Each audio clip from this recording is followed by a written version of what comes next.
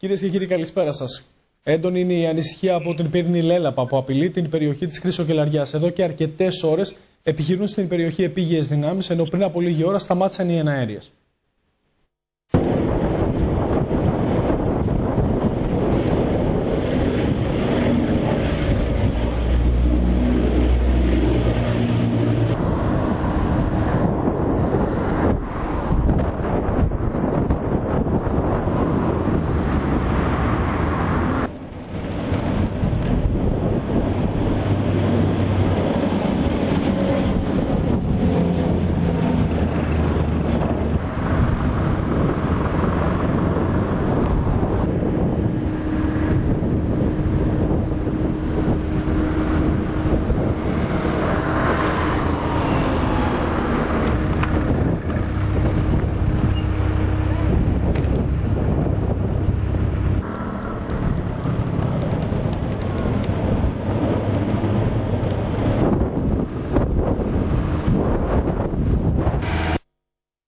Είδαμε λοιπόν και κάποιες χαρακτηριστικές εικόνες από το μέτωπο που και, και αυτή την ώρα έχουμε στην άκρη τη τηλεφωνική μας επικοινωνία στον Αντιπεριφερειάρχη Μεσσηνίας, τον κύριο Παναγιώτη Αλευρά. Καλησπέρα, κύριε Αλευρά.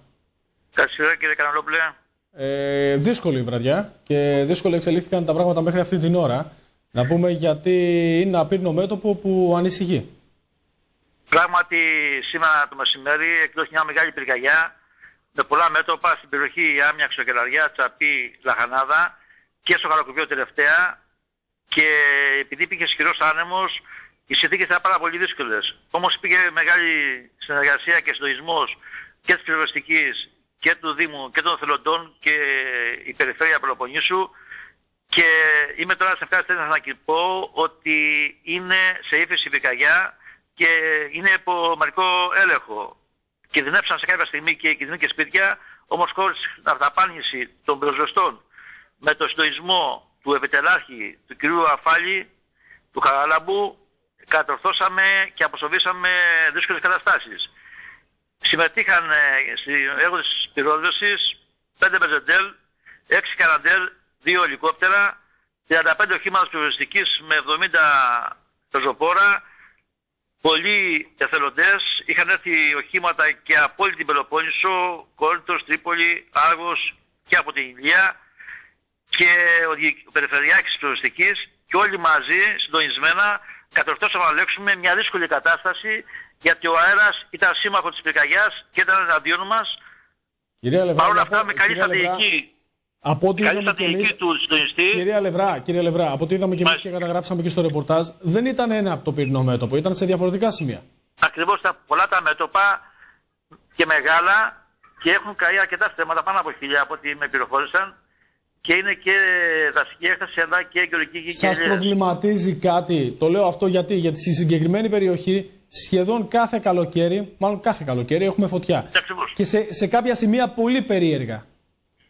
Είναι γεγονός και για κάτω που σημαίνεται, η περιοχή της Χρυσοκελαριάς είναι κάθε χρόνο αιστεία πυρκαγιών και ειδικά η σημερινή ημέρα που είχε υψηλό δίκτυο επικοινωνίας και ισχυρούς ανέμους και τα πολλά μέτωπα σίγουρα μας βάζει στη σκέψη ότι κάτι δεν ήταν τυχαίο, ότι ήταν ε, στοχευμένο. Η περιοριστική και το ανακριτικό της περιοριστικής θα κάνει τις απαραίτητες ενέργειες να διερευνήσει τα αίτια της πυρκαγιάς. Σήμερα όμως είμαστε στο στάδιο, στο, στη φάση της, του ελέγχου της πυρκαγιάς. Τα πεζοπόρα είναι επιτόπου για να μην έχουν αναζωπηρώσεις. Είμαστε στο καλό δρόμο και παρότι τη δυσκολία που υπήρχε, θέλω να συγχαρώ όλους όσοι συμμετείχαν στη διαδικασία και τον διοικητή της, ε, τον επιτελάρχη, τον κύριο Αφάλη και τον περιφερειάρχη της Προστικής, τον κύριο Γιώβα και τον διοικητή της Καραμάτας, όλους τους εθελοντές πυροσβέστες και την, το, το, το τμήμα της πολιτικής προστασίας της Φρακίδας Μεσσηνίας που συντόνισε μια δύσκολη κατάσταση. Και τους πολίτες να μην ξεχνάμε, οι οποίοι και, και αυτοί έκαναν ό,τι είναι δυνατόν με τρακτέρ.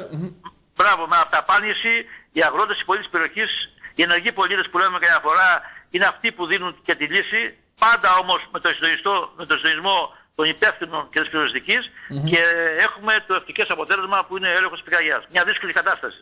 Α ελπίσουμε ότι όλα θα πάνε καλά. Θέλω να συγχαρώ όλους αυτούς. Ωραία, ας ελπίσουμε ότι θα πάνε όλα καλά κατά τη διάρκεια της νύχτας και έτσι με την πτώση και Είναι όλοι stand-by και η πολιτική προστασία και οι περιοριστέ εκεί και εθελοντές. Γιατί αυτή τη στιγμή βέβαια δεν φυσάει και αέρας, έχει κοπάσει ο άνεμος και αυτό είναι καλό για να ελεγχθεί γύρω στην πυρκαγιάς. Και σε αυτό το σημείο είμαστε. Ωραία, σας ευχαριστώ πάρα πολύ.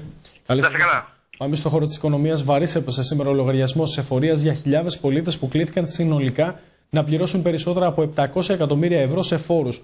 Πολλοί ήταν εκείνοι που έπρεπε να καταβάλουν μαζί τον φόρο ακίνητης περιουσίας του 2011 και του 2012, την πρώτη δόση του φόρου εισοδήματος, το τέλος επιτιδεύματος και την έκτακτη εισφορά αλληλεγγύης φόρους άνω των 700 εκατομμυρίων ευρώ. Καλούνται σήμερα να πληρώσουν χιλιάδες φορολογούμενοι. Συγκεκριμένα καλούνται να καταβάλουν την πρώτη δόση του φόρου εισοδήματος για όσου η πληρωμή του συνολικού φόρου θα γίνει σε τρεις δόσεις, συμπεριλαμβανομένου του τέλους επιτιδεύματος και της έκτακτης εισφοράς αλληλεγγύης, καθώς και τους φόρου ακίνητης περιουσίας των ετών 2011 και 2012. Το ποσό των 700 και πλέον εκατομμυρίων ευρώ αυξάνεται περαιτέρω, αν συνυπολογιστεί ότι για χιλιάδες ιδιοκτήτες ηλεκτροδοτούμενων ακινήτων που έλαβαν τους λογαριασμούς της ΔΕΗ στις αρχές Αυγούστου, εκπνέει η προθεσμία για την εξόφλησή τους και κατ' επέκταση για την πληρωμή και τη πρώτη δόση του έκτακτου ειδικού τέλους ακινήτων. Ταυτόχρονα πρέπει να πληρώσει το ΦΑΠ του 11, το ΦΑΠ του 12. Πληρώνει ήδη το χαράτσι μέσα του λογαριασμό της ΔΕΗ. Πιστεύω ότι ο κόσμος έχει φτάσει στα όρια του. Σημειώνεται ότι τους φόρους αυτούς έπρεπε να καταβάλουν και όσοι δεν είχαν λάβει ακόμη το ειδοποιητήριο από την εφορία. Διαφορετικά, κηρύσσονται εκπρόθεσμοι και αντιμετωπίζουν τις προβλεπόμενες ποινές που είναι η επιβάρυνση του 1% το μήνα. Το Υπουργείο Οικονομικών, μάλιστα για αυτό το λόγο, είχε ενημερώσει με email στου φορολογούμενου που δεν έλαβαν ταχυδρομικά τα εκαθαριστικά σημειώματα πληρωμής των φόρων έως τις 30 Αυγούστου να εκτυπώσουν οι ίδιοι το εκαθαριστικό σημείωμα και να σπεύσουν με αυτό στι τράπεζες και τα ΕΛΤΑ για να τακτοποιήσουν τις οφειλές τους. Η εκτύπωση των εκαθαριστικών γίνεται μέσα από την ιστοσελίδα της Γενικής Γραμματείας Πληροφοριακών Συστημάτων και μέσα από τους λογαριασμούς των φορολογουμένων στο σύστημα TaxisNet, όπου τα σημειώματα έχουν αναρτηθεί σε ηλεκτρονική μορφή. Τα ηλεκτρονικά εκαθαριστικά αναγράφουν τους κωδικούς ταυτότητα οφειλής με τους οποίους μπορεί να γίνει η εξόφληση των οφειλών. Πρέπει να πούμε ότι δεν τελειώνει το μαρτύριο ούτε για εμάς ούτε για τους φορολογούμενους, γιατί, γιατί αρκετά κοντά μέχρι 15 Ενάτου είναι η λήξη για το ε9. Στο ε9 πρέπει να να, να βάλουμε μέσα να, να απευθύνουν στους προτεχνικούς ε, οι δημότες, οι, οι πολίτες ε, ε, προκειμένου να δηλωθούν ότι μεταβολές υπήρξαν στην περιουσία τους το 2012. Όχι μόνο αυτό όμως, πρέπει και όσοι έχουν αγροτεμάχια να καταχωρηθούν και τα αγροτεμάχια, να, να, γιατί θα πλέον το, το ΦΑΠ θα περιλαμβάνει και τα αγροτεμάχια. Πάμε τώρα σε ένα ζήτημα που κυριολεκτικά προκαλεί ευχάριστες εξελίξεις ε, για Δήμους στην ε, περιοχή μας, όπως τον Δήμο Καλαμάτας και το Δήμο Πύλου Νέστορος, που έχουν θαλάσσια ζώνη και τα νέα είναι ευχάριστα και έρχονται από την ε, Γενική Γραμματεία Αποκεντρωμένης Διοίκησης. Έχουμε στην άκρη της τηλεφωνικής μας επικοινωνίας τον κύριο Μανώλη Αγγελάκα, τον Γενικό Γραμματέα. Καλησπέρα, κύριε Αγγελάκα. Καλησπέρα και σε εσάς και τους τηλεθεατές Με ευχάριστα νέα, καθότι γίνεται επιτέλους πραγματικότητα ένα όνειρο, θα έλεγε κανείς, ετών, έτσι φτάσαμε να το λέμε, ε, δημοτικά λιμενικά ταμεία στην Καλαμάτα και την Πύλο. Αυτό είναι εξαιρετικά σημαντικό. Νομίζω ότι και εσείς συμβάλλετε σημαντικά στο να ξεπεραστούν όλες αυτές οι αγκυλώσει, οι γραφειοκρατικές διαδικασίες σε πολύ γρήγορο χρονικό διάστημα. Κοιτάξτε, ο σκοπός ήταν από τότε που ανέλαβα να ολοκληρώσουμε αυτά που προβλέπει ο νόμος. Δεν κάναμε τίποτα περισσότερο, τίποτα λιγότερο. Ε, δουλέψαμε ε, πολύ με ύψιλον και πολύ με όμικρον γιώτα. Ε, οφείλω εδώ να ευχαριστήσω και τον πρόεδρο του Λιμενικού Ταμείου, του Κρατικού Λιμενικού Ταμείου, τον κύριο Παπαχρήστου και τους συνεργάτες του και τον Δήμαρχο Καλαμάτα, τον κύριο Νίκα και τους συνεργάτες του γιατί δουλέψαμε σκληρά υπήρξαν δυσκολίες, αλλά νομίζω ότι σε ένα πνεύμα ομόνιας, με συνεργασία όλα ξεπερνιούνται. Ε, είναι λοιπόν μια λαμπρή ευκαιρία τώρα, το θαλάσσιο μέτωπο της Καλαμάτας αλλά και της Πύλου, ε, να αναβαθμιστούν, περνούν στους τοπικούς άρχοντες που είναι η έκφραση των πολιτών. Θεωρώ λοιπόν ότι ολοκληρώνεται μια προσπάθεια που κάνει και η κυβέρνηση, η πολιτεία να ενδυναμώσει τους Δήμους παρέχοντας τα θαλάσσια μέτωπα και ελπίζω οι Δήμοι να τα εκμεταλλευτούν με τον καλύτερο τρόπο προς όφελος των δημοτών τους. Σήμερα είχαμε την υπογραφή της διαπιστωτικής πράξης, έτσι. Ε, οπότε ουσιαστικά έχει καθοριστεί και το προσωπικό, έχει καθοριστεί θα έλεγε κανείς ε, και τα περιουσιακά στοιχεία λίγο πολύ έχουν καθοριστεί για τα λιμενικά ταμεία. Οπότε είναι ελεύθερο. Ναι, ναι, παρακαλώ. Ειδικά για την Καλαμάτα υπάρχει ακόμα μία μικρή εκκρεμότητα όσον αφορά δύο κτίρια ε, γιατί είχαμε μια δυσκολία να διαπιστώσουμε το ιδιοκτησιακό τους καθεστώς, αλλά και αυτό στο άμεσο μέλλον θα ρυθμιστεί μόλις ξεκαθαριστεί το ιδιοκτησιακό καθεστώς. Είχαμε κάποιες ασάφειες εκεί, γι' αυτό από την όλη συμφωνία που ήταν πακέτο, δύο κτίρια τα αφήσαμε απ' έξω. Είναι όμως μια πολύ μικρή λεπτομέρεια αυτή. Αυτό είναι γεγονός, ε, γιατί μιλάμε για μια τώρα κίνηση ουσίας Όπως είπατε και εσείς, έχουμε τη δυνατότητα οι δήμαρχοι σε αυτές τις περιοχές να είναι και δήμαρχοι λιμανιού. Γιατί μέχρι τώρα δεν είχαν αυτή τη δυνατότητα και έχουν και τη δυνατότητα πλέον να αξιοποιήσουν με πολύ καλύτερο ρυθμό και τρόπο και το παραθαλάσσιο μέτωπο της κάθε περιοχής. Και μιλάμε για δύο περιοχές εξαιρετικά σημαντικές στην ανάπτυξη, τις ξέρετε και εσείς πολύ καλά. Κοιτάξτε, έχω την πεποίθηση ότι οι τοπικοί άρχοντες θα πρέπει να είναι πιο ικανοί από το κράτος στο να διαχειριστούν τα θαλάσσια μέτωπα, τις χρήσεις, να μείνει και χώρος και για τον κόσμο και για τους επαγγελματίες, για τα καταστήματα και οι πολίτες της Καλαμάτας και της Πύλου να χαίρονται την παραλία το θαλάσσιο μέτωπο. Φαντάζομαι ότι θα γίνουν πολλά τον επόμενο, τους επόμενους μήνες και του χρόνου το καλοκαίρι και τα δύο αυτά μέτωπα θα είναι αγνώριστα. Προς το καλύτερο βέβαια εννοώ. Καλά το λέτε και μακάρι να συνεχίζονται έτσι τέτοιες θετικές ειδήσεις και από την πλευρά της Γενικής Γραμματείας που έχει δείξει την πολύ καλή δουλειά που γίνεται εδώ και πολύ καιρό. Σας ευχαριστώ πάρα πολύ. Να είστε καλά, και καλό βράδυ σε όλους. Γεια σας. Πάμε τώρα εμείς στα δυσάρεστα. Η ανεργία καλπάζει όχι μόνο στη χώρα μας αλλά και στην Ευρώπη και έκπληξη προκαλεί και η εκτόξευση της Κύπρου στην τρίτη θέση στη σχετική μαύρη λίστα. Η πρωτιά δυστυχώς είναι για την Ελλάδα με το 27,6% που έχει μετρηθεί από το Μάιο, με τα στοιχεία να είναι ιδιαίτερα ενισχυτικά για τους νέους. Την πρώτη θέση στην ανεργία στην Ευρώπη κρατάει η Ελλάδα με δεύτερη την Ισπανία, ενώ ραγδαία ήταν η αύξηση της ανεργίας στην Κύπρο που πλέον βρίσκεται στην τρίτη θέση. Ο δείκτης ανεργίας παρέμεινε σταθερός στο 12,1% στην Ευρωζώνη, καθώς στις χώρες του Νότου που μαστίζονται υπήρξαν οι εποχικές θέσεις του τουρισμού που περιόρισαν κάπως το φαινόμενο. Στην Ευρώπη των 28 η ανεργία παρέμεινε στο 11%. Αυτή τη στιγμή στην Ευρωπαϊκή Ένωση υπάρχουν 26,7 εκατομμύρια άτομα χωρίς δουλειά, ενώ στις 17 χώρες που χρησιμοποιούν το ευρώ ο αντίστοιχος αριθμός έφτασε στα 19,2 εκατομμύρια πολίτες τον περασμένο Ιούλιο. Στις ηλικίες έως 24 ετών, οι άνεργοι στην Ευρωπαϊκή Ένωση έφτασαν τα 5,6 εκατομμύρια άτομα, ενώ στην Ευρωζώνη τα 3,5. Η Ελλάδα είναι σταθερά πρωταθλήτρια Ευρώπης στην ανεργία με το 27,6% που έχει ανακοινώσει για τον Μάιο, καθώς δεν υπάρχουν νεότερα στοιχεία, ακολουθούμενη από την Ισπανία που είχε τον Ιούλιο ανεργία 26,3%. Στην τρίτη θέση έρχεται η Κύπρος, όπου η ανεργία το δεύτερο μήνα του καλοκαιριού έφτασε στο 17,3%. Η Κύπρος έχει να επιδείξει και την ταχύτερη άνοδο της ανεργίας σε 12 μήνες με συν 5,1%, ακολουθούμενη από την Ελλάδα με συν 3,8%. Στην άλλη άκρη της ευρωπαϊκής πραγματικότητας, η Αυστρία επιδεικνύει ανεργία μόλις 4,8%, ενώ η Γερμανία 5,3%. Χθες ανακοινώθηκαν οι βάσει με σημαντικά τα νέα για τη Μεσσηνία και τους μαθητές της, όπως είδαμε. Να δούμε αναλυτικά το τι έγινε και στο ΤΕΙ Πελοποννήσου, το ΤΕΙ Καλαμάτας που γίνεται ΤΕΙ Πελοποννήσου, στα όσα επισήμανε ο Πρόεδρό του Δημήτρης Βελισσαρίου. Τα χαρακτηριστικά στοιχεία είναι πρώτον ότι το ΤΕΙ Καλαμάτας γέμισε. Δηλαδή, όσοι ήταν ο αριθμός των εισακτέων είναι τόσοι και επιτυχώντες. Άρα, όσοι είχαν ζητηθεί, όσοι ήταν εισακτέοι για κάθε τμήμα, ε, τα τμήματα γεμίσανε, όπως λέμε εισαγωγικά. Αυτό είναι αρκετά σημαντικό και πολύ ενδιαφέρον γιατί ε, μέσα στα πλαίσια των σχεδίων Αθηνά και τα λοιπά, ε, το παρατηρητήριο του Υπουργείου Παιδείας ξέρουμε ότι παρατηρεί και βλέπει ποια τμήματα είναι αυτά τα οποία έχουν πληρότητα. Εμείς έχουμε πληρότητα. Δηλαδή όσοι ήταν εισακτέοι ήταν και οι επιτυχώντες. Τώρα, το δεύτερο χαρακτηριστικό είναι ότι είχαμε μια σημαντική άνοδο των βάσεων από πέρσι. Ε, σε όλα τα τμήματα οι βάσεις mm-hmm. ανεβήκαν.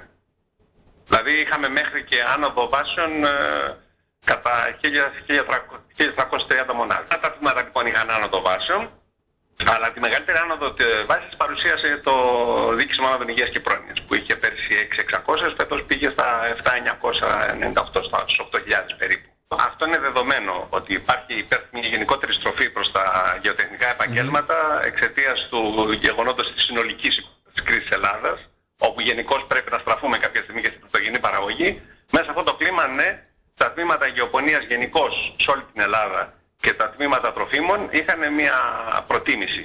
Τώρα, ειδικότερα για τα τμήματα αυτά που αναφερθήκαμε, για το τμήμα τεχνολογίας γεωπόνων πλέον, ένα τμήμα είναι πια, ναι, αντί ναι. για δύο που είχαμε πέρσι, και το τμήμα τεχνολογίας τροφίμων, εδώ πέρα είχαμε και μια επιτυχία, ας το, ας το πούμε, σε πανελλήνιο επίπεδο. Για ποιο λόγο; Ε, Παραδείγματος χάρη τεχνολόγων και οπόνων τμήματα υπάρχουν αυτή τη στιγμή με το νέο, με, μετά το σχέδιο Αθηνά 7 σε όλη την Ελλάδα. Εμείς ήρθαμε από, από επίπεδο βάσεως από επίπεδο βάσεων, ήρθαμε τρίτη κατά σειρά. Δηλαδή μετά από τα δύο μεγάλα, αν θέλετε, κεντρικά που τραβάνε τον περισσότερο κόσμο στα γεωπονικά, στην τεχνολογία γεωπόνου. Δηλαδή το τμήμα της Θεσσαλονίκης, του ΤΕΙ Θεσσαλονίκης και του ΤΕΙ Λάρισας. ΤΕΙ Θεσσαλίας τώρα. Ναι. Εμείς είμαστε αμέσως τρίτη, δηλαδή από τα περιφερειακά ιδρύματα ε, σε βάση είμαστε στην τρίτη θέση. Εμείς τώρα από το ΤΕΙ να περάσουμε στο Πανεπιστήμιο και έχουμε στην άκρη της τηλεφωνικής μας επικοινωνίας την ε, κυρία Ξανθάκη για να πούμε πολλά περισσότερα για το πώς πήγαν οι σχολές που πράγματι, όπως είδαμε τα στοιχεία, πήγαν πολύ καλά. Και αυτό είναι ενθαρρυντικό και νομίζω αξιοσημείωτο σε αυτή τη γενικότερη πτώση που παρουσίασαν οι βάσεις. Καλησπέρα, κύριε Ξανθάκη. Καλησπέρα, κύριε Κανελόπουλε. Ε, νομίζω ότι είσαστε εκεί ικανοποιημένοι και ευχαριστημένοι και πολύ περισσότερο και για τις επιτυχίες των παιδιών, έτσι. Ναι, είμαστε πράγματι πολύ ευχαριστημένοι, διότι φέτος ε, το τμήμα φιλολογίας ειδικότερα είχε μία σαφή άνοδο στις βάσεις και αυτό είναι αξιοπε... Ε, αξιοπαρατήρητο, διότι τα υπόλοιπα συναφή τμήματα όλων των ελληνικών πανεπιστημίων, τα τμήματα φιλολογίας, ε, ε, είχαν σαφέστατα πτώση των βάσεων και αυτό πιστεύω ότι οφείλεται σε κάποια θέματα, ιδιαίτερα στα αρχαία ελληνικά που κρίθηκαν λίγο δύσκολα. Εμείς αντιθέτως είχαμε άνοδο των βάσεων και θα ήθελα να επισημάνω ένα γεγονός ότι η πρώτη που μπαίνει στο τμήμα φιλολογίας έχει βαθμό 19, έχει μόρια 19.134. Δηλαδή μόρια αντίστοιχα της ιατρικής Αθηνών. Και, πολύ, αυτό ναι, είναι ναι, πάρα πολύ σωστά το λέτε και πολύ, και πολύ άνετα θα έμπαινε. Θα έμπαινε πολύ άνετα. Κύριε Κανελόπουλο, μια συνειδητή επιλογή πλέον των υποψηφίων ανά την Ελλάδα για το τμήμα φιλολογίας της Καλαμάτας και της σχολή γενικότερα. Και αυτό μας δίνει ιδιαίτερη έτσι ικανοποίηση, διότι σημαίνει ότι έχει, έχουν εκτιμηθεί κάποια στοιχεία τα οποία προσφέρει αυτό το τμήμα γενικότερα. Και μιλάμε και για παιδιά που έρχονται και από άλλες περιοχές, αλλά πλέον μιλάμε και για παιδιά που στηρίζουν από τον τόπο τους το τμήμα, γιατί υπάρχει οικονομική κρίση και πολλά παιδιά έχουν δει τις προοπτικές του Πανεπιστημίου και θέλουν να φοιτήσουν εδώ είναι από την Καλαμάτα, είναι από τη Μεσσηνία και θέλουν να είναι στον τόπο τους. Έρχονται πολλά παιδιά από τη Μεσσηνία, αλλά έρχονται και πολλά παιδιά από την ευρύτερη περιοχή της Πελοποννήσου και μπορώ να σας πω και από πιο ψηλά ακόμη, από Αθήνα. Ε, είναι πάρα πολύ σημαντικό, ίσω έχουν εκτιμηθεί αυτά τα στοιχεία τα οποία σας προανέφερα, που είναι τα καλά μεταπτυχιακά που έχουμε, η διεθνής παρουσία που έχει το τμήμα φιλολογίας, ε, ο καλός οδηγός σπουδών που συνδυάζει και τα καινοτόμα αυτά γνωστικά αντικείμενα. Πιστεύω όλα αυτά εκτιμώνται και το γεγονός και θα ήθελα αυτό να το τονίσω ότι έχουμε υποστεί και εξωτερική αξιολόγηση. Έχουμε κριθεί δηλαδή και από ειδικούς επιστήμονες του εξωτερικού. Και δεν είναι πολλά τμήματα φιλολογίας που έχουν κριθεί και από εξωτερικό. Ίσως όλες αυτές οι παράμετροι έχουν συμβάλει σε μια συνειδητή επιλογή πλέον υποψηφίων προς το τμήμα φιλολογίας της Καλαμάτας. Και νομίζω αυτό είναι πολύ σημαντικό. Ε, επειδή θα θέλουν πολλοί να το ακούσουν, με τα μεταπτυχιακά είμαστε σε καλό δρόμο, έτσι. Έχουμε τρία μεταπτυχιακά ε, και το φιλολογικό, δηλαδή τα αρχαία ελληνικά, την ειδική αγωγή που είναι πολύ σημαντικό επίσης γιατί γίνεται διακρατικό με την Ιταλία και έχουμε και την ηθική φιλοσοφία που γίνεται για πέμπτη συνεχή χρονιά με ιδιαίτερη επιτυχία. Επομένως νομίζω όλα αυτά τα στοιχεία είναι σημαντικά για την προβολή του τμήματος αυτού και για την δουλειά που επιτελείται. Μπράβο και συγχαρητήρια και μακάρι να συνεχιστούν έτσι Ε, και πάντα υπάρχει πολύ. έτσι και η πορεία και η συνδρομή και της τοπικής κοινωνίας και όλων των φορέων. Ευχαριστούμε πάρα πολύ. Θα χαρούμε μάλιστα να έχουμε στα μεταπτυχιακά μας και εκπαιδευτικούς, όριμους Ναι. εκπαιδευτικούς, γιατί είδαμε ιδιαίτερη ευχαρίστηση ότι λαμβάνεται υπόψη πλέον η αξιοκρατική έτσι απόκτηση ε, μεταπτυχιακών τίτλων σπουδών για την ευρύτερη ε, έτσι, πρόθεση των, ε, ε, των εκπαιδευτικών. Και αυτό θα μας δώσει ιδιαίτερη χαρά να δούμε και από τη Μεσσηνία εκπαιδευτικούς πλέον να έρχονται στα μεταπτυχιακά μας. Σας ευχαριστώ πάρα πολύ. Καλή Εγώ σας νύχτα. ευχαριστώ κύριε Κανελόπουλε. Καλά σας βράδυ. Πάμε τώρα σε κάτι διαφορετικό. Είδαμε χθες μέσα από τα ρεπορτάζ της τηλεόρασης Βέστη τις καταγγελίες των κατοίκων στη δυτική πλευρά της Καλαμάτας για την αφόρητη κατάσταση στον Μπουρνιά από τη βρώμα και τη δυσοδεία του βιολογικού καθαρισμού. Σήμερα οι κάτοικοι επανήλθαν και κατήγγειλαν κάτι νέο. Το λέγαμε χθες το βράδυ, ε, πως λίμματα χύνονται σε παρακείμενο κανάλι με την κατάσταση να προκαλεί την αγανάκτησή τους. Η κατάσταση εδώ και περίπου μία εβδομάδα στην περιοχή στον Μπουρνιά είναι κυριολεκτικά αποπνικτική. Όπως σημειώνουν οι κάτοικοι μετά τη δική τους αυτοψία, επιβεβαιώθηκε πως φορτηγά άδειασαν λίματα σε κανάλι παρακείμενο του βιολογικού καθαρισμού. Ανακαλύψαμε ένα τεραστίων διαστάσεων έγκλημα κατά της ανθρωπότητας. Ένα περιβαλλοντολογικό έγκλημα που συντελείται από το Δήμο Καλαμάτας γύρω από το βιολογικό σταθμό λιμάτων. Μόλις εχθές είχαμε μαρτυρίες από κατοίκους ότι αδειάζουν με φορτηγά λίματολάσπη δίπλα ακριβώς από το χάρντακα του Μοτελάκη, ανάμεσα στα καλάμια, έτσι κιόλας, για να μην φαίνονται. Καταγγέλνουμε το γεγονός αυτό. Και επιτέλους δεν ανεχόμαστε άλλη, άλλο αυτή την κατάσταση. Θεωρούμε ότι η περιοχή η δική μας έχει άλλες προοπτικές. Έχει προοπτικές ανάπτυξης. Θα μπορούσε να έχει γίνει ένας μικρός παράδεισος και όχι μια απέρατη χαβούζα που θέλουν και σχεδιάζουν να κάνουν. Οι κάτοικοι δηλώνουν αγανακτισμένοι για αυτήν την κατάσταση και ζητούν από τη Δημοτική Αρχή επιτέλους να λάβει συγκεκριμένα μέτρα ώστε να σταματήσει αυτή η βρώμα και δυσοδεία. Η κατάσταση εδώ στην περιοχή μας είναι αποπνικτική ε, και εμείς οι κάτοικοι δεν αντέχουμε άλλο.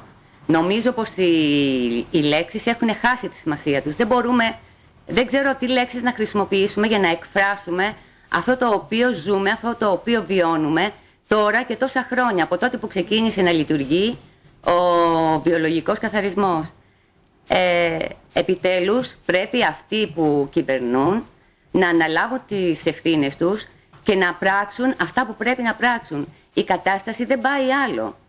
Δεν γίνεται να ζούμε όλοι κλεισμένοι μέσα στα σπίτια μας σαν τα ποντίκια για να μπορούμε να γλιτώσουμε έστω και λίγο από αυτή την δυσοδεία που απλώνεται πάνω από την περιοχή μας συνέχεια. Με πολλούς να έχουν γίνει μετανάστες σε ξενοδοχεία και αλλού για να αποφύγουν αυτήν την αφόρητη κατάσταση, μετά ορισμένοι θέλουν να μιλούν για τουρισμό. Τουρισμός, ανάπτυξη, τουρίστες, επισκέπτες, εδώ ξανά έχει μια χαρά είμαστε όλα. Έχουμε κόσμο, έχουμε τουρισμό, έχουμε και, τη, και την πόχα από εδώ από το βιολογικό, είναι όλα μια χαρά. Αυτό δεν είναι, δεν είναι σωστά πράγματα όταν μιλάμε για μια πόλη που είναι το, το επίκεντρο της Ελλάδας. Και δίπλα στα, 10 λεπτά, στα 8 λεπτά από την Καλαμάτα να υπάρχει αυτό το, αυτό το χάλι. Αυτό είναι ανεπίτρεπτο και πρέπει να το δούμε πιο σοβαρά. Γιατί δεν θα μείνει μόνο εδώ, θα βγει και αλλού. Όμως δεν είναι μόνο το ζήτημα του βιολογικού καθαρισμού που αναδεικνύεται δυστυχώς τις τελευταίες ημέρες με την ε, πιο δυσάρεστη εικόνα του, είναι και εκείνο των σκουπιδιών. Να ενδιαφερθούν οι αρμόδιοι οι υπεύθυνοι γιατί εδώ γίνεται χαμός. Όποιος θέλει πετάει σκουπίδια, ό,τι σκουπίδια θέλουν από την καλαμάτα τα φέρουν μέσα στη, στα σπίτια τα δικά μας. Εμείς είμαστε οι παρακατιανοί από ό,τι βλέπω. Έτσι μας θεωρούν.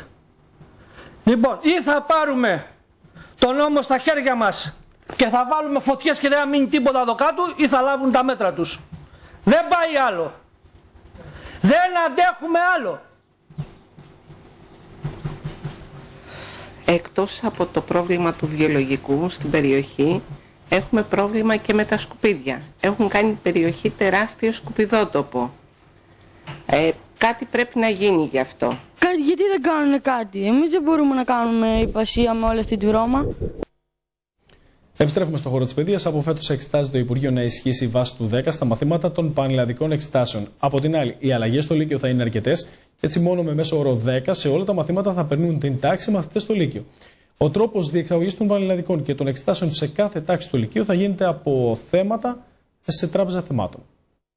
Η βουτιά των βάσεων που ήταν συνέπεια της χαμηλής βαθμολογίας που πέτυχαν οι υποψήφοι των πανελλαδικών έφερε σκέψεις για επαναφορά της βάσης του 10 για την εισαγωγή σε ΑΕ και ΤΕΗ. Με βάση τις πληροφορίες μελετάται από το Υπουργείο Παιδείας η βάση του 10 να γίνει υποχρεωτική ως προπόθεση από φέτος από τις αμέσως επόμενες πανελλαδικές εξετάσεις δηλαδή. Δεν είναι όμως αυτή η μόνη αλλαγή που θα έρθει στο χώρο της παιδείας και ειδικά σε ό,τι αφορά το Λύκειο και την εισαγωγή στην τριτοβαθμία εκπαίδευση. Από την ε, πρώτη τάξη του Λυκείου έρχονται αλλαγές. Πλέον για να προβιβαστεί ο μαθητής στην επόμενη τάξη θα πρέπει να πετυχαίνει γενικό μέσο όρο 10 στα μαθήματα, αλλά και μέσο όρο 10 σε διακριτά μαθήματα όπως τα αρχαία, τα νέα, η λογοτεχνία, η άλγευρα και η γεωμετρία. Παράλληλα, ο μαθητή για να προβιβαστεί στην επόμενη τάξη θα πρέπει να πετυχαίνει μέσω όρο 8 στα υπόλοιπα μαθήματα. Μάλιστα, στα επαγγελματικά λύκεια δεν θα υπάρξουν μεταξυταστέοι, αλλά σύστημα νοκάουτ με τους μαθητές που αποτυγχάνουν να διακόπτουν τις σπουδές. Σε ό,τι αφορά τις εξετάσεις του Λυκείου για την προαγωγή των μαθητών στην επόμενη τάξη, αλλά και τις τελικές εξετάσεις για την αποφύτιση, τα θέματα θα επιλέγονται με ένα μεικτό σύστημα. Τα μισά από μία βάση θεμάτων και τα υπόλοιπα θα είναι επιλογή του καθηγητή. Οι βαθμολογίες θα συνεχίσουν να μετράνε και για τις πανελλαδικές, ωστόσο η βαθμολόγηση θα γίνεται από τον καθηγητή της ίδιας τάξης. Στις εξετάσεις για την εισαγωγή σε ΑΕ και ΤΕΗ, οι μαθητές θα εξετάζονται σε τέσσερα μαθήματα. Και εδώ τα θέματα θα επιλέγονται κατά 50% από μία βάση θεμάτων και τα υπόλοιπα από την Επιτροπή Εξετάσεων. Η βαθμολογία του Λυκείου θα υπολογίζεται ως πέμπτος βαθμός. Αλλάζουμε θέμα και κλίμα. Ο βασιλιάς του Τσιμέντου παντρεύει αυτή την ώρα την κόρη του στη Μεσσηνία. Οι προετοιμασίες ολοκληρώθηκαν όλο αυτό το διάστημα και όλα σήμερα ήταν έτοιμα για την χλιδάτη γαμήλια τελετή στη βίλα του Φιλάρη του Καλτσίδη στο Βασιλίτσι. Η Αλίνα Καλτσίδη έρχεται εις γάμων κοινωνία με τον Ελβετό επιχειρηματία Πάτρικ Ποπράσκι. Στους ρυθμούς ενός κοσμικού γεγονότος κινείται σήμερα η περιοχή μας, αφού παντρεύεται στην ε, Κορώνη η θηγατέρα του δισεκατομμυρίου ομογενού από τη Ρωσία φιλάρε του Καλτσίδη Αλίνα με τον πολωνητή καταγωγής Ελβετό επιχειρηματία Πατρίκ Ποπράσκι. Η μοναχοκόρη του πανίσχυρου Μεγιστάνα έχει και έναν γιο, αποτελεί τη μεγάλη του αδυναμία και εκείνος επιθυμεί να της χαρίσει έναν αξέχαστο γάμο. Η τελετή και η δεξίωση φιλοξενούνται στην ε, παραθαλάσσια επάβλη της οικογένειας έξω από την Κορώνη, η ανακατασκευή της οποίας ολοκληρώθηκε μόλις πριν από λίγες ημέρες. Τα τελευταία βράδια η κατοικία αλλά και η 40 στρεμματών έκταση μέσα στην οποία έχει κτιστεί είναι φωτισμένη με τρόπο που κλέβει τις εντυπώσεις. Η σημερινή τελετή αποτελεί θέμα συζήτησης για τα πρόσωπα που αναμένεται να δώσουν το παρόν, ανάμεσα στα οποία περιλαμβάνεται και εκείνο του Δημήτρη Ριμπολόβεφ, του νέου ιδιοκτήτη του Σκορπιού, ο οποίος είναι και συνέτρο με το φιλάρι του Καλτσίδη. Ο ποντιακή καταγωγής ομογενής από τη Ρωσία είναι αυτή τη στιγμή ο πλουσιότερος Έλληνας, ενώ το όνομά του αναμένεται κάποια στιγμή να πρωταγωνιστήσει και στο παιχνίδι των επενδύσεων στη χώρα μας. Η περιουσία του ξεπερνά τα 6,7 δισεκατομμύρια δολάρια και τον ε, κατατάσσει στο νούμερο 175 της λίστας του Forbes και στην 22η θέση των πλουσιότερων Ρώσων. Η τελετή αναμένεται να πραγματοποιηθεί σε κλειστό κύκλο με περίπου 150 προσκεκλημένους. Η Αλίνα Καλτσίδη κινείται με άνεση μεταξύ Ελβετίας Παρισιού, Λονδίνου και Μόσχας. Εξαιρετικά λεπτή και κομψή, δίνεται από διάσημους οίκους μόδας, λατρεύει το χορό και τα περίτεχνα κοσμήματα, ενώ μεγάλη δυναμία της είναι το σκυλάκι της Ευησένκα. Η σχέση της με τον Πάτρικ Ποπράσκι, μέτρα περίπου ένα χρόνο και ο ερωτάς τους, ήταν κεραυνοβόλο. Ο 31 ετών γαμπρό έχει σπουδάσει στο London School of Economics και σήμερα δραστηριοποιείται με έδρα της Ζηρίχη στον χώρο των κατασκευών και της εμπορίας σύνου. Ο Ποπράσκι είναι γνωστός στους κοσμικούς κύκλους της Ευρώπης και θεωρείται από τους πολύφερνους γαμπρού. Βασικός αναδεικνύεται ο στόχο αναβάθμισης και επέκτασης των σικαιώνων με την παραγωγή και φέτος να είναι ποιοτική. Τα στοιχεία δείχνουν μια καλή προοπτική στην καλλιέργεια και δεν είναι τυχαίο πως φέτος φυτεύτηκαν 7.000 νέες σικέ. Σε φούλου ρυθμούς εξελίσσεται η απεντόμωση και η τυποποίηση με τις εξαγωγές να ξεκινούν αύριο με πρώτη την αγορά των Ηνωμένων Πολιτειών. Τους 2.500 τόνους αναμένεται να αγγίξει η παραγόμενη ποσότητα των ε, σέικων για τη Μεσσηνία παρά τη μειωμένη απόδοση σε ορισμένες περιοχές κατά 30%. Η κοινή διαπίστωση είναι ότι η ποιότητα και φέτος είναι άριστη. Η σικοπαραγωγή στο νόμο Μεσσηνία θα κοιμαθεί στα 2 με 2.500 τόνους σε όλο το νόμο Μεσσηνία γιατί οι όποιες περιοχές θα προημήσουν κατά 10 μέρες, αλλά δεν θα έχουν βροχοπτώσεις και θα έχουν καλή παραγωγή. Όμως στην περιοχή της Καρποφόρας ε, και σε άλλες περιοχές, Νιοχώρη, Δάφνη, Δάρα, η παραγωγή θα είναι μειωμένη, μου είπαν οι ίδιοι η παραγωγή κατά 20 και αυτό οφείλεται και στην οβρία και στις λοιπές καλλιτέ φροντίδες, λίπαρες κλπ αλλά και στα κέντρα είναι γυρασμένα. Ο Αντιπεριφερειάρχη Μεσσηνίας επισκέφθηκε τα απεντομοτήρια σε διάφορες περιοχές αλλά και τις εγκαταστάσεις της Υγική, όπου πιστοποιήθηκε για μία ακόμη φορά η καλή συνεργασία. Στόχος είναι να προχωρήσει το πρόγραμμα για την ανανέωση και επέκταση των ε, σικαιών που φέτος απέδωσε και έδωσε περίπου 7.000 νέα δενδρίλια σικιάς. Υπάρχει μειωμένη παραγωγή σε περιοχές που υπάρχει ανοβρία και κυρίως που υπάρχουν γυρασμένα σικο, σκότετρα. Άρα η αναδιάρθρωση των καλλιεργιών και η επέκταση σε νέες καλλιέργειες είναι και αναγκαία και επιβλημένη και η περίοδο που κάναμε αποδείχθηκε ότι ήταν εύστοχη και σωστή. Αύριο αξίζει να σημειωθεί πως ήδη ξεκινούν οι πρώτες εξαγωγές προς τις ΗΠΑ. Θα ακολουθήσουν Καναδάς, Αυστραλία, Πολωνία, Γερμανία και Αυστρία. Αυτή τη στιγμή έχουν μπει περίπου χίλιοι τόνοι σίκα στα πεντομοτήρια. Ήδη όταν απεντομώνονται έχουν φύγει προς τα τυποποιητήρια. Και εμείς και οι ιδιώτες μεταποιητές ήδη μεταποιούν και από αύριο θα αρχίσουν οι πρώτες εξαγωγές. Θα φύγουν προς την Αμερική κυρίως και οι ιδιώτες μεταποιητές έχουν ετοιμάσει κοντένερ και εμείς. Οπότε σε αυτόν τον τομέα πάμε πολύ καλά. Όπως είπε και ο κύριος Αλευράς, η, η αλφα ποιότητα, η καλή ποιότητα δεν έχει πρόβλημα. Και είμαστε της άποψης ότι αυτό μπορεί να γίνει όταν δώσουμε σταθότητα στα εξαιρετικά παραδοσιακά μας προϊόντα. Ελιά, σισκιά και κούρβουρο λέγανε οι προγονείς μας, δηλαδή στο λάδι, στη σταφίδα και στο σίκο είναι τα προϊόντα τα οποία είναι εξαιρετικής ποιότητας. Πρέπει να τα αναδείξουμε, να δώσουμε ταυτότητα και παράλληλα πρέπει να πάμε και σε καινοτόμες καλλιέργειες, σε σύγχρονες καλλιέργειες αλματικά αυτά κλπ. με ελεγχόμενα και σταθερά βήματα. Καμπανάκι κινδύνου χτυπούν οι επαγγελματίες στο βιοτεχνικό πάρκο. Το υψηλό ενίκιο και η μειωμένη κίνηση αποτελούν στοιχεία που προκαλούν προβληματισμό για την βιωσιμότητα των επιχειρήσεων και του χώρου. Μεγάλος είναι ο κίνδυνος για λουκέτα σε πολλές επιχειρήσεις του βιοτεχνικού πάρκου. Τα προβλήματα που αντιμετωπίζουν οι επαγγελματίες είναι πολλά, με το βιοπά να καταραίει σταδιακά τόσο οικοδομικά όσο και από άποψη κίνησης. Τώρα, με βάση όλα αυτά που λέμε, το βιοτεχνικό πάρκο δεν καταραίει πια, έχει καταρρεύσει. Και αυτό θα το δείτε και στα οικοδομικά του και στα δομικά του στοιχεία, αλλά και γενικότερα στις δουλειές, στις δουλειές που υπάρχουν εδώ.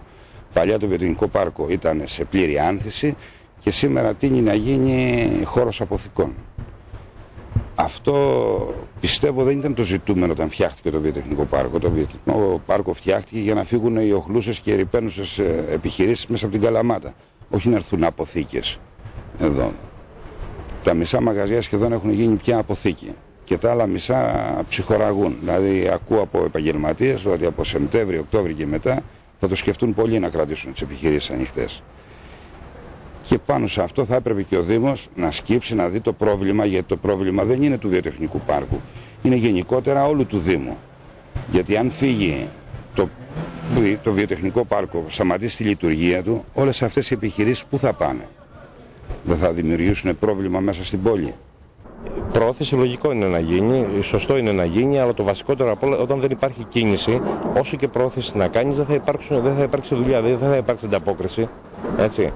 Ε, πάντα κοιτάζεις την ελεύθερη αγορά για να δεις ε, πώς, τι, τι τιμές ενοικίων υπάρχουν έξω ανά τετραγωνικό, αντίστοιχα να γίνει και πιο μειωμένο στην ε, επιχείρηση δημοτική. Οι επαγγελματίες ζητούν από τους αρμόδιους να σκύψουν πάνω από το πρόβλημα, το οποίο είναι μεγάλο, να ασχοληθούν με το βιοτεχνικό πάρκο και να το στηρίξουν. Ενώ άμεση ανάγκη είναι και η μείωση του υψηλού ενοικίου. Τα μεγαλύτερα προβλήματα είναι η βιωσιμότητα του πάρκου, έτσι, η συντήρησή του και το υψηλό ενίκιο που έχει αυτή τη στιγμή. Το ενοίκιο του, τον, στο βιοτεχνικό πάρκο είναι διπλάσιο από τα καταστήματα της ελεύθερης αγοράς έξω. Έτσι, εκεί πρέπει να το δει ο Δήμος για να υπάρξει τουλάχιστον και εκεί για, ένα, για μια διετία από τώρα μέχρι να δουν αν η κρίση ξεπεραστεί ή θα συνεχιστεί. Έτσι, γιατί η κρίση όσο πάει και βαθύνει. Έτσι λοιπόν περιμένουμε από τους ηθήνοντες και ειδικά τώρα που έχει αρχίσει η προεκλογική περίοδος των, των δημάρχων και οι υποψήφοι αλλά και ο Δήμαρχος να σκύψουν πάνω σε αυτό το πρόβλημα που λέγεται βιοτεχνικό πάρκο και να διαθέσουν κάποιο κονδύλι για να μπορέσει να κρατηθεί το πάρκο όρθιο. Και αυτό το λέω κυριολεκτώντας όρθιο. Γιατί αν κοιτάξετε γύρω-γύρω την υποδομή του πάρκου, είναι έτοιμο προς κατάρρευση. Τα τσιμέντα έχουν αρχίσει και πέφτουν. Ε, τα μαγαζιά έχουν, επειδή είναι σιδηροκατασκευές, έχουν αρχίσει και σγουριάζουν. Οι επαγγελματίες κάνουμε ό,τι μπορούμε, αλλά από την άλλη πλευρά θέλουμε και τη στήριξη της πολιτείας, δηλαδή του Δήμου. Τα σύννεφα πολέμου πάνω από τη Συρία αρχίζουν να πυκνούν. Η ανησυχία για μια γενίκευση της σύραξη έντονη. Το Κομμουνιστικό Κόμμα προχωρά σήμερα σε μηχανοκίνητη πορεία στους δρόμους της Καλαμάτας ενάντια σε μια ενδεχόμενη χρήση του αεροδρομίου. Μηχανοκίνητη πορεία διαμαρτυρίας διοργανώνει σήμερα το Κομμουνιστικό Κόμμα προκειμένου να εκφράσει με τον τρόπο αυτό την αντίθεσή του στην πιθανότητα χρήση του αεροδρομίου της 125 στην Καλαμάτα για τις επιθέσεις στη Συρία. Να επιτεθούν στην οι Αμερικάνοι και οι Ευρωπαίοι εμπειριαλιστές στη Συρία είναι ζήτημα ωρών αντεημερών. Η Τομεακή Επιτροπή Μεσηνίας του ΚΚΕ καταγγέλει τη στρατηγική προετοιμασία των ΙΠΑ, της Βρετανίας και της Γαλλίας και των συμμάχων τους κατά της Συρίας ε, με τη χρησιμοποίηση μάλιστα του αεροδρομίου της Καλαμάτας. Είναι πολύ πιθανό να χρησιμοποιηθεί. Τα προσχήματα που ευευρίσκουν για να επέμβουν, όπως η χρήση τάχα χημικών αερίων, έχουν ξαναχρησιμοποιηθεί και σε άλλες χώρες που επενέβησαν, όπως είναι το Αφγανιστάν, η Ιουγκοσλαβία, το Ιράκ, ε, η Λιβύη και που στην πορεία φάνηκε ότι δεν πάταγαν πουθενά, δεν είχαν καμιά ε, βάση. Η πραγματική βάση των επικίνδυνων εξελίξεων στην περιοχή είναι η υπερελιστική επιθετικότητα και η όξυνση των ανταγωνισμών για τον έλεγχο των πλουτοπαραγωγικών πηγών και αυτοί ακριβώς στην αλήθεια επιχειρούν να κρύψουν οι Ηνωμένες Πολιτείες, το ΝΑΤΟ και η Ευρωπαϊκή Ένωση. Η στρατιωτική επίθεση κατά της Συρίας θα περιπλέξει ακόμα περισσότερο την ήδη σύνθετη και επικίνδυνη κατάσταση στην περιοχή, με κίνδυνο γενικευμένου πολέμου, με θύματα βέβαια τους λαούς.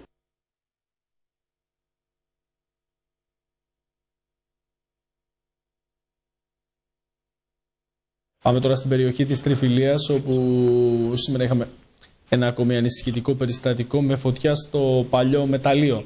Έχουμε στην άκρη τη τηλεφωνικής μας επικοινωνίας τον συνάδελφο τον Γιάννη Βοζέκα. Καλησπέρα, Γιάννη. Καλησπέρα σε εσένα και στους τηλεθεατές. Έσβησε η φωτιά. Ε, υπήρξε μια αναστάτωση και ένας προβληματισμός προσωρινό. Ναι, πρόκειται για μια περιοχή όπου, όπως την υπονομάζουν οι κάδικε του Μήλο Πιπαρισία, παλιό μεταλλείο λέγεται, ε, υπήρχε ένας χώρος υποδοχής αδρανών ειδικών, δηλαδή ε, εκεί με απόφαση του τότε Δήμου Πιπαρισία και αργότερα του Δήμου Τριφυλίας ρίχνονταν μόνο αδρανητικά, δηλαδή α, χώματα και πάζα, όχι οτιδήποτε άλλο. Ωστόσο όμως τα τελευταία δύο με τρία χρόνια έχει μετατραπεί σε μια παράνομη χωματερή, όπου πέφτουν ε, σκουπίδια και πάση φύσεω πράγματα, με αποτέλεσμα να οδηγηθεί σε μια ανάπτυξη και να πάρει διαστάσεις εντός του χώρου α, αυτού. Ε, να τονίσουμε ότι αμέσως ήρθαν και τρία πεζετέρ τα οποία συνέδραμαν από αέρος ε, τις επίγειες περιοριστικέ δυνάμεις για να σβηστεί η φωτιά.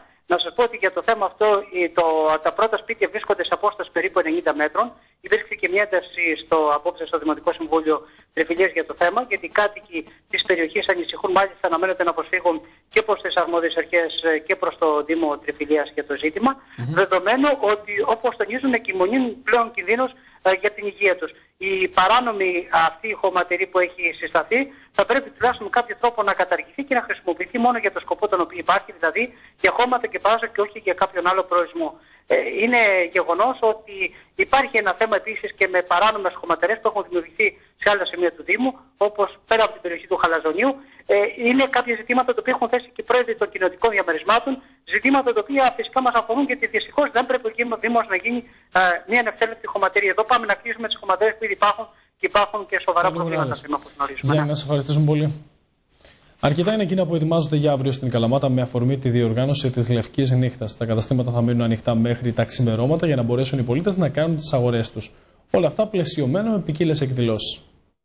Έλατε να κάνουμε τη νύχτα μέρα. Όλη η νύχτα, αγορές και διασκεύαση. Αυτό είναι το μήνυμα του Δήμου Καλαμάτας προς τους ε, πολίτες σε μια ευρωπαϊκή ιδέα που πρόκειται να εφαρμοστεί και στη Μεσσηνιακή Πρωτεύουσα αύριο από τις 8 το βράδυ έως τις 4 τα ξημερώματα. Αύριο έχουμε ολονυχτία και καλούμε σε αυτήν την ολονυχτία η οποία θα είναι ολονυχτία κυριολεκτικά μέχρι να χαράξει όλο τον κόσμο. Και οι πληροφορίες που έχουμε είναι ότι αύριο βράδυ όλη τη νύχτα στην Καλαμάτα θα κινούνται δεκάδες χιλιάδες άνθρωποι. Είναι μια εκδήλωση αποτέλεσμα της αγαστής συνεργασίας που έχουμε με τους θεσμικούς φορείς της πόλης. Ο σκοπός είναι η προβολή της πόλης και η οικονομική ενδυνάμωση των επιχειρήσεων. Νομίζω θα τα καταφέρουμε. Η αυριανή ολονυχτία έχει κινήσει το πανελλήνιο ενδιαφέρον. Έχουμε δώσει μέχρι τώρα δεκάδες συνεντεύξεις. Ο Δήμος θα κάνει ό,τι είναι δυνατόν, οι υπηρεσίες μας θα λειτουργήσουν κατά την ορονικτία. Σας καλούμε λοιπόν όλους να συμμετέχετε στην ε, διοργάνωση της πρώτης Λευκής Νύχτας, γιατί πραγματικά θα είναι μια μοναδική εμπειρία για όλους μας.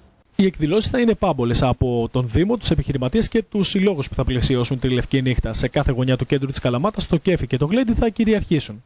Εγώ θα ήθελα να πω ως πρόεδρος της Φάρης ότι τα μουσικά σύνολα από το ΟΔΙΟ, ε, σύνολα δικών μας παιδιών, ε, παιδιών μαθητών σπουδαστών του Δημοτικού Οδείου θα παρουσιάσουν έργα αυτά που διδάσκονται και που μαθαίνουν όλο αυτόν τον καιρό στο Οδείο και βεβαίως θα υπάρχει και μια εικαστική έκθεση με έργα των παιδιών από το εικαστικό εργαστήριο. Και τώρα με τη σειρά μου να καλέσω και εγώ τον Καλαματιανό λαό και τον ε, ε λαό της ευρύτερης περιοχής της Μεσσηνίας να έρθει αύριο το βράδυ που θα κάνουμε τη νύχτα μέρα να διασκεδάσει μαζί μας και να καταναλώσει ε, ό,τι, ό,τι ε, να ψωνίσει ό,τι μπορεί, ό,τι θέλει σε πάρα πολύ καλές τιμές από, το, από όλα τα, καταστήματα, τα εμπορικά καταστήματα της πόλης μας. Πρέπει να κάνουμε τα πάντα για να σταθούμε δίπλα στους επαγγελματίες που αντιμετωπίζουν σημαντικά προβλήματα από την κρίση και να αναζητήσουμε λύσεις που θα βοηθήσουν την αγορά ώστε να αποφευχθούν όσο το δυνατόν τα λουκέτα. Έτσι λοιπόν ο Δήμος, Επιμελητήριο Εμπορικός Σύλλογος, Σύλλογος Εστίασης, Εθελοντές Φάρης και άλλοι φορείς με πρωτοβουλία του Δημάρχου κ. Νίκα αποφασίσαμε να υιοθετήσουμε τη Λευκή Νύχτα και στην Καλαμάτα. Με διαφορετική προέκταση η τοποθέτηση του Προέδρου του Συλλόγου Επαγγελματοβιοτεχνών Θεόδωρου Μπαζίγου. Έχω μηνύματα κι εγώ ότι το να κάτσει οι επαγγελματίες μέχρι τι 4-5 η ώρα τη νύχτα της Κυριακής είναι πολύ δύσκολο και δεν ξέρω κατά πόσον και μακάρι να γίνει πραγματικότητα αυτό το οποίο είπαν οι προηγούμενοι φίλοι και συνάδελφοι. Ε, πιστεύω απόλυτα ότι και δεν είναι ευκαιρία αυτή, δεν είναι τόσο διότι οι περισσότεροι ξένοι έχουν φύγει. Δυστυχώς πρέπει να γίνει, γι' αυτό πρέπει να γίνει η προετοιμασία καλύτερη νομίζω εγώ, να γίνει στις αρχές Αυγούστου μέχρι τις 15 Αυγούστου που ήταν όλος ο ξένος κόσμος αυτός. Ωραία η πρωτοβουλία, αλλά να ήταν ο κόσμος να δει αυτό το ωραίο θέαμα. Πιστεύω όμως ότι μέχρι τις 12 η ώρα το πολύ μία θα ήταν το καλύτερο από όλα. Να μην κουραστεί ο κόσμος. Διότι πιστεύω θα κουραστεί. Οι εθελοντές, όλοι οι συλλόγοι εθελοντικά και μεμονωμένοι πολίτες θα συνδράμουν σε αυτό το έργο, θα προσπαθήσουν να κάνουν το καλύτερο δυνατό και να συμμετέχουν σε όλα τα δρόμενα όπως κάνουν πάντα. Ο Σύλλογος Ιδιοκτητών Καταστημάτων Υγειονομικού Ενδιαφέροντος, τα μέλη αυτού, ε, θα συνδράμουν ε, στην ε, πραγματοποίηση της Λευκής Νύχτας. Έχουν ετοιμαστεί πάρα, πολλά, πάρα, πάρα, πάρα, πάρα πολλές ε, εκδηλώσεις σε διάφορες γειτονιές. Πάμε τώρα σε ένα θέμα από το χώρο της υγείας. Ο ύπνος φαίνεται να κάνει καλό.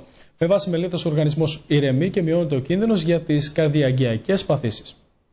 Αυξημένο κίνδυνο εμφάνισης καρδιαγγειακών παθήσεων έχουν όσοι κοιμούνται λιγότερο αλλά και περισσότερο από 7 ώρες την ημέρα. Ενώ όσοι δεν έχουν την πολυτέλεια να κοιμούνται αρκετά μέσα στην εβδομάδα, καλά θα κάνουν να κοιμούνται 10 ώρες κατά τη διάρκεια του Σαββατοκύριακου. Σύμφωνα με δύο Αμερικανικές μελέτες που δημοσιεύτηκαν στο επιστημονικό περιοδικό Sleep της Αμερικανικής Ακαδημίας Ιατρική του Ήπνου και της Εταιρείας Ερευνών του Ήπνου, η μη τήρηση καλού προγράμματος στον ύπνο κρύβει θετικές αλλά και αρνητικές συνέπειες για τον οργανισμό. Τι να πω, έχει προχωρήσει η επιστήμη ε, και θα φτάσουμε μετά τα 100 πιστεύω. Εγώ προσωπικά δεν κοιμάμαι γιατί δουλεύω από νωρίς μέχρι αργά και δεν προλαβαίνω να κοιμηθώ γιατί πολύ απλά δεν κοιμάμαι. Χρειαζόμαστε τον ύπνο για να ξεκουράζει το δέρμα και γενικά το σώμα και νιώθουμε πιο ξεκούρασες. Δηλαδή δεν έχουμε ούτε ρητίδες ούτε τίποτα πολύ χρόνο. Ο ύπνος είναι απαραίτητος, έτσι. Ε, τουλάχιστον ένα οχτάρο. Τώρα εμείς που είμαστε και φοιτητές, ε, καταλαβαίνεις τώρα τι γίνεται. Εντάξει, όσο μπορούμε, κοιμόμαστε πιο πολύ όμως. Εκτιμάται μάλιστα πως η διάρκεια του ύπνου επηρεάζει τις μεταβολικές και ενδοκρινικές λειτουργίες, με συνέπεια να αυξάνει το κίνδυνο για σκλήρηση των αρτιών του αίματος. Μία δεύτερη αμερικανική μελέτη έδειξε ότι μια περιστασιακή δόση γερού ύπνου στη διάρκεια του Σαββατοκύριακου αποτελεί καλό φάρμακο για όσους συνήθως κοιμούνται λίγο μέσα στην εργάσιμη εβδομάδα. Όμως, ακόμα και ένας ύπνος 10 ώρων κατά περιόδους ίσως δεν είναι τελικά αρκετός για να αναπληρώσει πλήρως το χαμένο ύπνο και να αντισταθμίσει τις αρνητικές συνέπειες της χρόνιας έλλειψης ύπνου. Χρειάζεται και ο καλός ύπνος, αλλά πιστεύω είναι και ειδικά στη χώρα μας που έχουμε ε, πάρα πολλές μέρες το χρόνο ηλιοφάνεια να προστατευόμαστε από τον ήλιο. Γιατί η κύρια αιτία των ρητιδών και διάφορων σημαντιών στο πρόσωπο ή στα χέρια όπου μας βλέπει ο ήλιος είναι ο ήλιος. Ναι, για να ξεκουράζομαι. Αλλά κάποια στιγμή όλοι θα γεράσουμε. δεν κοιμάμαι καλά. Μία η ζέστη, μία τα ξενύχτια, όχι. Πρέπει, αλλά με μέτρο. Όχι και όλο ύπνο, είπαμε.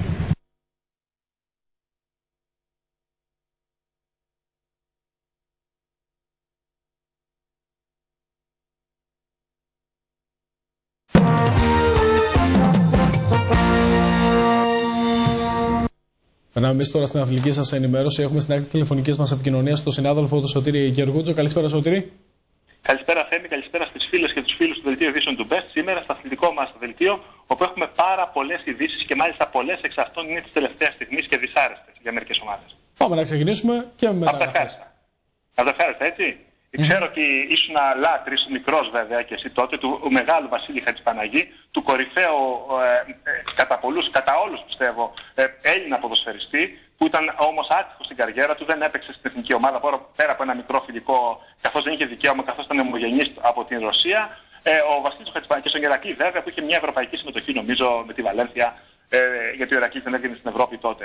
Ε, ο μεγάλος λοιπόν Βασίλης Χατζηπαναγή που βάσει της 12 δεν μπόρεσε να φύγει ποτέ από τον Ηρακλή και να πάει σε μια μεγάλη ομάδα, ε, τη Δευτέρα θα βρίσκεται στην Καλαμάτα καλεσμένος της ε, Ένωσης Φίλων Εραστεχνικού Ποδοσφαίρου της Μεσηνία, μιας νεοσύστατη ένωσης, ε, η οποία είναι προπομπός, θα λέγαμε, της αντιπολίτευσης που γίνεται το αντίθετο ψηφοδελτίου ε, στον Αριστίδη Σταθόπουλος σε επικείμενες εκλογές τη ΕΨΜ. Να πούμε Νομίζω ότι πάντα, πάντα και αυτά, Και αυτά που δηλώνει, πάντα και λέω και αυτά που δηλώνει ο Βάσια, που έχει μια γενικότερη άποψη για το ελληνικό ποδόσφαιρο, αλλά πάντα και αυτά που πρεσβεύει ο Βάσια για αυτήν την καλλιτεχνική προσέγγιση του ποδοσφαίρου. Θυμόμαστε Ναι, όλοι τις ο- Ο τρίπλες. Νουρέγεφ. Ναι, ο ναι. Νουρέγεφ. Θυμόμαστε Νουρέγεφ. όλοι ότι το προσωνύμιό του ήταν Νουρέγεφ. Ένας μάγος της μπάλας που όμοιός του στην Ελλάδα δεν δεν θα ξαναφανεί ποτέ. Και είναι κρίμα που αυτός ο παίχτη δεν μπόρεσε να φύγει να κάνει μεγάλη καριέρα στο ευρωπαϊκό ποδόσφαιρο. Δεν είμαι, ο- συγγνώμη που σε διακόψα, αλλά ε, να πούμε βέβαια ότι ο Αντώνης Αντωνόπουλος μεσολάβησε και να έρθει ο Βασίλη Χατζηπαναγή στην Καλαμάτα. Θα είναι στο γήπεδο του Μεσηνιακού σε 6 το απόγευμα. Θα μείνει σχεδόν όλη τη μέρα. Θα στείλει από τη Δευτέρα το πρωί στην Καλαμάτα και θα, θα δίνει αυτόγραφα, θα παρουσιάσει σχολή ποδοσφαίρου κλπ. κλπ. Όλα αυτά θα γίνουν στο Επειδή γήπεδο του μίλησες Μεσηνιακού. για αυτούς που τον φέρνουν, να σημειώσουμε και δύο ονόματα. Τάξη Βασιλόπουλος και Αντώνης Αντωνόπουλος που έχουν πολύ μεγάλη παρουσία, δυνατή και Στα προσφορά δρόμενα του Μεσηνιακού στα ποδοσφαίρου. αθλητικά δρόμενα του Μεσηνιακού ποδοσφαίρου και όχι μόνο, έτσι. Και όχι μόνο ο Αντωνόπουλος, βέβαια, που Ναι, έχει ναι. κάνει και το βήμα το παραπάνω και είναι και αντιπρόεδρος στο Ψάτ και όλοι αυτοί ε, μαζί με τον γιατρό τον Σοφρονά, τον πρόεδρο του Πανιωνίου, που συγκροτούν, θα λέγαμε, την αντιπολίτευση. Και δεν είναι κακό να το λέμε αυτό. Ε, αντι- ε, ε, αντιπολίτευση όλοι έχουν, παντού έχουν, παντού υπάρχουν. Ή την δύο αλλαγή. πόλοι και Έτσι, με την αλλαγή στο μεσηνιακό ποδόσφαιρο και θα δούμε ποιος θα επικρατήσει στο τέλος. Λοιπόν, αυτά για τον Βασίλη του Χατζηπαναγή. Πάμε τώρα στα δυσάρεστα θέμη που αφορούν το μεσηνιακό. Ε, έγινε γνωστό από χθες το βράδυ, το είχαμε προαναγγείλει άλλωστε και από το sportstonot.gr, ότι ε, υπάρχει πρόβλημα με τους περισσότερους ξένους που αγωνίζονται σε, ε, στις ομάδες της ΓΑΜΑ εθνικής κατηγορίας. Καθότι θέμη θεωρούνται αεραστεχνικά σωματεία ε, και δεν, ε, ε, δεν υπάρχει άδεια εργασίας σε ξένους που είναι εκτός Ευρωπαϊκής Ενώσεως. Έτσι λοιπόν, ο Μέλο και ο Περέιρα του Μεσηνιακού, καθότι είναι αεραστεχνικό σωματείο και προέρχονται εκτός Ευρωπαϊκής Ενώσεως από χώρες, Βραζιλιάνοι δηλαδή, δεν έχουν δικαίωμα με τα έως τώρα δεδομένα να αγωνιστούν. Δεν υπάρχει διαβατήριο άδεια παραμονής ε, ε, ε, που να αναγνωρίζονται έτσι από την ΕΠΟ. Αυτοί, αυτές, αυτοί οι δύο ποδοσφαιριστές που είναι Βραζιλιάνοι. Σοφ λοιπόν στο Μεσηνιακό, στην Καλαμάτα δεν υπάρχει προς το παρόν το ίδιο θέμα, καθώς οι δύο, ο Βέλγος και ο- οι δύο Ιταλοί ποδοσφαιριστές που έχουν είναι κοινοτικοί, άρα μπορούν να παίξουν στη μαύρη θεία, αλλά δεν έχουμε κάποια άλλη εξέλιξη. Καλαμάτα που μιλάει και με ένα βούλγαρο ε, τερματοφύλακα, όπως γράψαμε στο Σπορ στο Νότο, ε, καλό και θα δούμε αν τον αποκτήσει. Να πούμε λοιπόν ότι ο Μεσηνιακός ε, την Κυριακή αντιμετωπίζει στον Ναύπλιο, τον, τον ιστορικό Παναθυλιακό, σε 6 το απόγευμα και βέβαια μέχρι τη Δευτέρα πρέπει να κινηθεί άμεσα άμεσα για την ε, μεταγραφική του ενίσχυση, καθώς χωρίς Μέλο και Περέιρα αντιμετωπίζει πλέον το φάσμα του υποβασμού και όχι της ανόγκου, αν δεν ενισχυθεί άμεσα. Υπάρχει βέβαια και η περίοδος των ελεύθερων ποδοσφαιριστών από την ΕΠΟ, θα είναι μέχρι τις 15 Σεπτεμβρίου. Να πούμε, ε, πριν κλείσουμε την, ε- την ενότητα της Μεσηνία, φυσικά τη Μαύρη Θύελα, α, δεν ήρθε ο Παναριακό, δεν θα έρθει την Κυριακή ο Παναριακό του Για το Δουβίκα φιλικό. Γιάννη να παίξει τη Ρεβάνς στην Καλαμάτα, από την Καλαμάτα μένει χωρίς φιλικό και εκτός συγκλονιστικού απρόπτου θα γίνει την Τετάρτη το φιλικό στον πύργο με τον Πανηλιακό, καθώς η έψη ηλίας και ο Άρης ο Κουλούρης έδωσε το OK σήμερα, όπως μάθαμε, να γίνει το παιχνίδι αυτό, γιατί την ίδια ώρα στην Ηλία γίνεται ο τελικός του Super Cup. Και δεν ήθελε φυσικά την ίδια ώρα η έψη ηλίας να γίνει και ένα άλλο μεγάλο παιχνίδι ανάμεσα στη Μαύρη Θύελα και στον Πανηλιακό. Ε, μένουμε στη Μεσσηνία. Ο Ολυμπιακός Καλαμάτας ανακοίνωσε τον Κώστα Μίτζερα πριν από λίγο. Ο Κώστας Μίτζερας με μεγάλη παρουσία στο Μεσσηνιακό ποδόσφαιρο. Έχει περάσει βέβαια και από τη Μαυριθία, αλλά είναι εξαιρετικό παιδί, ένας αγωνιστής της ζωής. Κώστας ο Μίτζερας επιστρέφει σε επίπεδο κορυφή στην αλφα τοπική κατηγορία με τον Ολυμπιακό Καλαμάτας. Και στο Μελιγαρά να πάμε θέμη, όπου ε, προχθές, εχθέ μάλλον απέκτησε και τον Γιάννη το Μιτσέα. Έχει πάρει τον Ηλία το Μιτσέα. Πήρε και ένα τερματοφύλακα ακόμα τον Ίσο Μαυρέα, τον Γιάννη το Μιτσέα, που ήρθε από τη Μαγούλα στη γάμα εθνική κατηγορία. Πρόπερση έπαιζε στο Θρασίβολο στη β' εθνική κατηγορία. Έχει παίξει στην άλλη εθνική κατηγορία με τον Αστέρα Τρίπολης με σύνιο ο Γιάννης ο Μιτσέας. Πήρε και τον αδερφό τον Ηλία το Μιτσέα ο Μαυρέα και πραγματικά δημιουργεί μια πάρα πολύ ισχυρή ομάδα. Και εγώ ρωτάω τώρα θέμη, η Καλαμάτα που αναζητεί διακαώ τερματοφύλακα. Εντάξει, ο Λιμπερόπουλος τι ήταν ακριβώς. Εντάξει, ο Κυριακόπουλος ο Γιώργος ε, δεν τα βρήκε με το ράλι, έφυγε νωρίς. Ο, ο, ο Γιάννης ο Μιτσέα που είναι μεσήμιος και καταπληκτικός τερματοφύλακα δεν μπορούσε να παίξει την μαύρη θύελα. Πάμε τώρα, αφήνουμε την Καλαμάτα, φεύγουμε πιο βόρεια και πάμε στον πύργο. Θέμη, το πρωί είχαμε, ε, σήμερα καταρχάς επέστρεψε η αποστολή του Πανηλιακού από το Καρπενήσιο που έκανε την προετοιμασία του για 10 περίπου μέρες. Σήμερα ε, η διοίκηση του Πανηλιακού, Σάκης Χριστόπουλος πρόεδρος, Γιώργος Γκάμαρης αντιπρόεδρος, Κώστας Μπαρδί ε, μέλος της διοίκησης, συνάντησαν τον Δήμαρχο Πύργου στο Δημαρχείο, Μάκη Παρασκευόπουλο και τον Αντιδήμαρχο, τον Γιάννη Αργυρόπουλο και τον πρόεδρο του, ε, σταδίου, του Δημοτικού Σταδίου του Πύργου. Η συζήτηση έγινε σε πολύ καλό κλίμα και ε, όλοι είπαν ότι θα είναι στο πλευρό του Πανηλιακού που τώρα είναι στο νότιο όμιλο της Β' Εθνικής Κατηγορίας. Πάμε στη Ζάκυνθο Θέμη όπου ανακοίνωσε τρεις μεταγραφές. Παύλος Κυριακίδης, 22 ετών, μέσος Μέγας Αλέξανδρος Κοζάνη και Πανηλιακό έχει παίξει στο παρελθόν. Ανδρέας Νομικός, 25 αμυντικός Ακράτητος, Αρωνικό Πανηλιακό Τρασίβουλο και Βρασίας. Και Αντώνης Κούτρης που έχει παίξει στον Αχαρναϊκό μέσος, παλιός παίχτη και αυτός της Ζακίνθου, ο, ο Κούτρης. Ε, Επίσης ανανέωσαν ο Βυθούλκας, ο Γιάννης, ο Πετράκος, ο Στασινόπουλος, ο Καρδάκης. Ανανέωσαν ε, σήμερα τη συνεργασία τους με, την, ε, με τη Ζάκυνθο. Η Ζάκυνθος Β' Εθνική Βόρειο Όμιλο όμως εδώ, το Ευτράπελο που λέγαμε, και ο Ολυμπιακός Βόλου στον Νότιο Όμιλο, έδωσε τρία φιλικά στα 3-5 πηγάδια της Νάουσα και τα τρία τα κέρδισε την τοπική ομάδα. Η τελευταία νίκη ήταν Τετάρτη επί τη Νάουσα με 2-1 η Ζάκυνθο, η οποία είναι σε καλούλα, καλή θα λέγαμε πορεία. Πάμε τώρα στην Παναχαϊκή, όπου πριν από λίγο κυριολεκτικά επί του πιεστηρίου πήρε δύο ακόμα παίκτες. Έφτασαν στην Πάτρα σύμφωνα με πληροφορίες μου σήμερα το βράδυ ο Συνεγαλέζο ε, Σέιν Γκαντιάντα, μέσος 34 χρονών και ένας Βόσνιος αμυντικός αγνώστων λοιπόν στοιχείων. Η Παναχαϊκή, η οποία 6 το απόγευμα ε, το Σάββατο αντιμετωπίζει στο γήπεδό της, στο Πανεπιστημιακό στάδιο, τον Αχαρναϊκό ε, με ελευθέρα την είσοδο. Επίσης ο Θήμος ο Καβακάς, ο προπονητής της ε, Παναχαϊκής, σε αυτό το παιχνίδι θα είναι χωρίς Λίτσι και Λαζαρίδη, οι οποίοι είναι τραυματίες. Επίσης, θέλει πριν κλείσουμε να πούμε ότι αυτή τη στιγμή βρισκόμαστε στο Ελίτ, ξενοδοχείο, όπου έχει ε, κλείνει το συνέδριο ε, ορθοπαιδικών, το Πανευρωπαϊκό Συνέδριο Ορθοπαιδικών που γίνεται υπό την εποπτεία του Γιώργου του Τσικούρη, του ε, γιατρού του Ολυμπιακού, της Εθνικής Ομάδας Άρση Βαρών κλπ. που κοσμεί την Μεσσηνία, την Καλαμάτα, ε, την Άμφια, το Γαρδίκι, δηλαδή το χωριό του και ευρύτερα. Ο κύριος Τσικούρη σε λίγο θα είναι στο βήμα, θα μιλήσει. Στην αύριο θα πούμε και τα υπόλοιπα λεπτομέρειες από αυτό το κλείσιμο και τη δεξίωση που γίνεται ε, τώρα στο Ελιτίδε. Είμαστε και για λόνια και για σαλόνια. Είμαστε και στα γήπεδα και στις μάχες, αλλά και στη δεξιώση εκεί βέβαια όπου υπάρχει αθλητικό ενδιαφέρον και ρεπορτάζ. Τα υπόλοιπα είναι για τους υπόλοιπους, τους δημοκοντόρους, όχι για εμά, εμεί είμαστε αγωνιστές. Λοιπόν, αυτά είχα να πω. Ε, να σε καλά, να σε ευχαριστήσουμε και να ανανεώσουμε και το ραντεβού, όπως είπες και εσύ, ε, με μια, όποτε, με μια όμορφη. Με μια, σωστά, και με μια όμορφη συνέντευξη από το Μεγάλο Βάσκα. Ναι, λοιπόν. ναι, ναι, βέβαια, αυτό θα, Κυριακή έχουμε, τα έχουμε κανονίσει όλα. Ε, Δευτέρα οι φίλοι μας θα δουν το Μεγάλο Βασίλη Χατζηπαναγή στον Πες να λέει για, για όλους και για όλα. Και ευχαριστώ πολύ που μου το θύμισες. Καλή συνέχεια να έχεις και να λέμε του Γεωργούλια να μας το πει όπως σήμερα πολύ πιο νωρίς για να προλαβαίνουμε να είμαστε εκτενέστατοι στα ρεπορτάζ και στη δουλειά μας. Ευχαριστώ πάρα πολύ. Σωτήρι. Καλή σου νύχτα. Και στο σημείο αυτό, κυρίες και κύριοι, ολοκληρώθηκε το κεντρικό δελτίο ειδήσεων από την τηλεόραση Μπέστα. Από όλους όσοι και σήμερα εργάστηκαν για την ενημέρωσή σας, καλή σας νύχτα.